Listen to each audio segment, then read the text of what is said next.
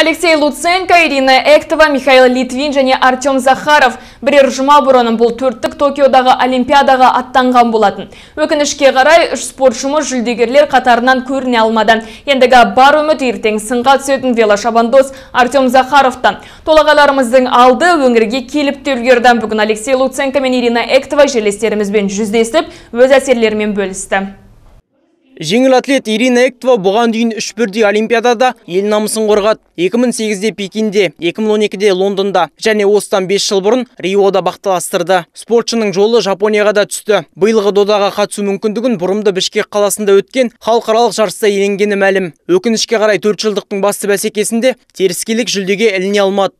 Я считаю уже достижение, что у нас получилось туда доехать. Олимпиадаға барудың өзі үлкен жетістікпен парапар. Жарысқа қатысу жүлдеге ілігу жолында біраз тер төгілді. Алайда медаль еншілей алмадым. Карантин өз әсерін тигізді деп білем. Әзірге үлкен спортпен қоштаспаймын, бірақ енді Олимпиадаға қатыспаймын деп шештім.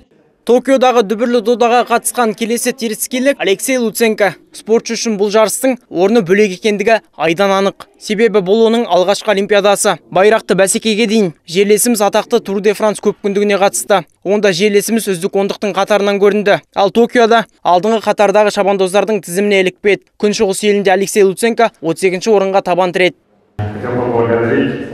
Қолдау көрсеткен барлық жерлестеріме алғысымды білдірем. әрине өңірге медаль алып келуді жоспарлап едім. Бірақ бәрі мен ойлағандай болмай шықты. Олимпиада жоғары деңгейде өтті. Мол тәжірибе жинап қайттым. Енді бірер күн демалып қайта жаттығуға кірісем. Мұнымен тоқтап қалмаймын Алдағы уақытта ел намысын Жапонияда қорғаған қос спортшы әлем чемпионаты мен өзге де байрақты бәсекелерге қатысуды жоспарлап отыр. Алдияр Айтбаев, Қазбек Арықбаев, муниципалдық телеарна.